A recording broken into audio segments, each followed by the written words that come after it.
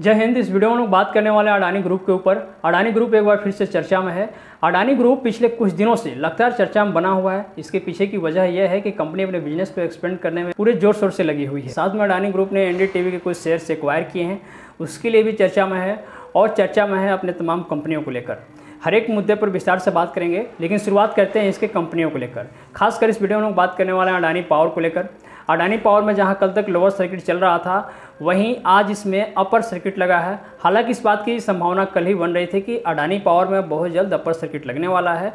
यानी कि अगर लोअर सर्किट में है तो लोअर सर्किट ब्रेक हो जाएगा और जो लोग पहले से उसमें सेल करने के लिए अपना ऑर्डर लगाए हुए हैं, उनका ऑर्डर सेल हो जाएगा।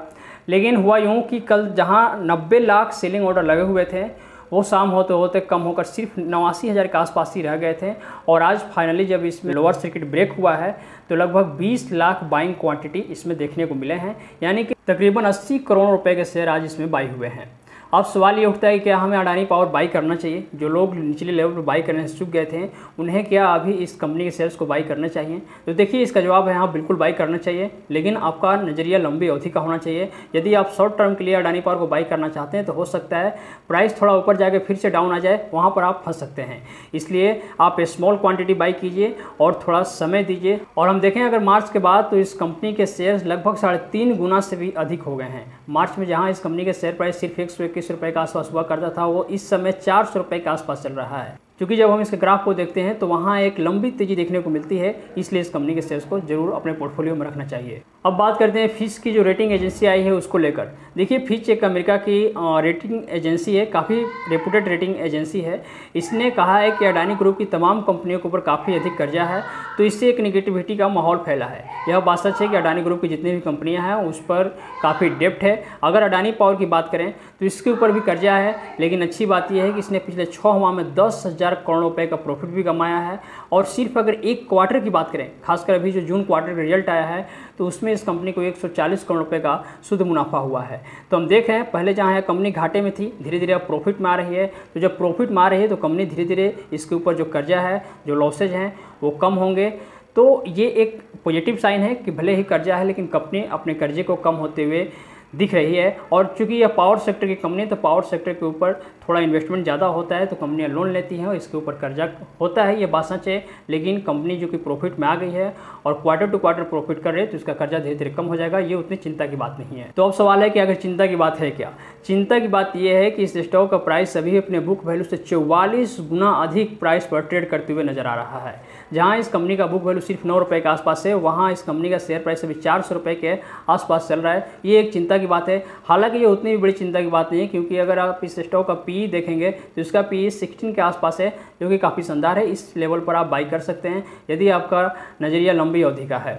दूसरी बात, यह कंपनी हर क्वार्टर में पिछले कुछ क्वार्टर से प्रॉफिट दर्ज कर रही है। जब कंपनी को अच्छा खासा प्रॉफिट हो रहा है, उसके बावजूद भी यह कंपनी डिविडेंड नहीं देती। तो यह कोई चिंता की बात नहीं है डिविडेंड देना कंपनी के मैनेजमेंट पर डिसाइड करता है। वो अगर चाहे तो डिविडेंड दे भी सकती है, नहीं भी दे सकती है। लेकिन अगर कंपनी रिपीटेड क्वार्टर में ग्रोथ कर रही है तो उससे ये अपेक्षा की जाती है कि वो अपने शेयर होल्डर्स को डिविडेंड देगी। तीसरी चिंता की बात यह है कि इस कंपनी के जो प्रमोटर्स हैं, उनके पास इस कंपनी के लगभग 75 परसेंट हिस्सेदारी है, लेकिन उसमें से 25 परसेंट इन्होंने शेयर्स को गिरवी रखा हुआ है, यह चिंता की बात है। हालाँकि एक सुकून देने वाली खबर यह है कि जो विदेशी निवेशक होते हैं एफआईआई उन लोगों ने इस कंपनी में अपना स्टेक बढ़ाया है। पहले जहाँ इनकी हिस्सेदारी 11.34 परसेंट की थी, वो अब बढ़कर 12.56 परसेंट की हो गई है। तो ये एक राहत देने वाली खबर दिख रही है।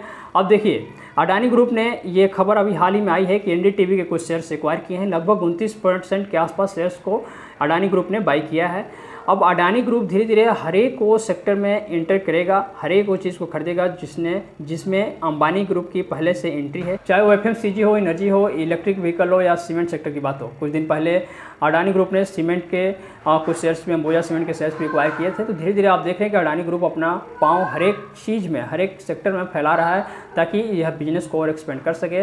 और चूँकि अडानी ग्रुप काफ़ी एग्रेसिव तरीके से अपने बिज़नेस को एक्सपेंड करने में लगा हुआ है तो इसको कैपिटल रिक्वायर्ड काफ़ी अधिक होगी। इसके लिए अडानी ग्रुप लोन भी लेगा। यही कारण है कि फिच ने जो रेटिंग दी है, इसमें बताया है कि इस ग्रुप के ऊपर काफ़ी अधिक कर्जा है। इससे सावधान रहने की ज़रूरत है। हालाँकि हमने अडानी पावर के केस में देखा कि धीरे धीरे कंपनी अपने कर्जे को कम भी कर रही है और प्रॉफिट में आ रही है तो स्वाभाविक के कर्जे कम हो ही जाएँगे। इसलिए उतनी चिंता की बात नहीं है, यदि आपका नज़रिया लंबी अवधि का है। उम्मीद करता हूँ यह वीडियो आपको समझ में आया होगा। मिलते हैं नेक्स्ट वीडियो में। तब तक धन्यवाद, शुक्रिया।